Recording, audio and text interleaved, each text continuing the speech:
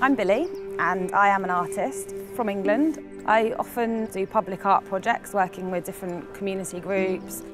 I believe in community, like working together and making things better. I'm working with a charity called Paiwand.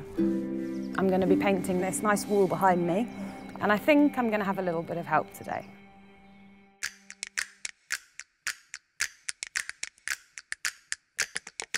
Hi guys, are you ready to get painting?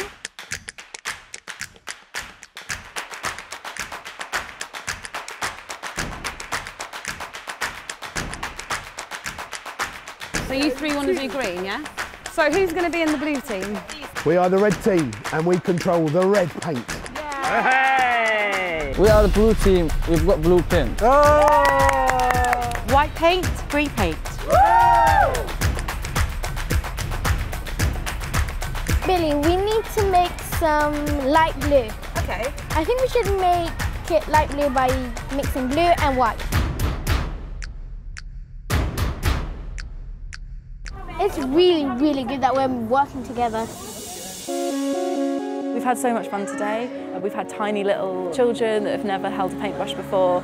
It's been lovely to have a kind of big mix of both the Childs Hill primary school community but also the Paiwand community and, and our friends and our network.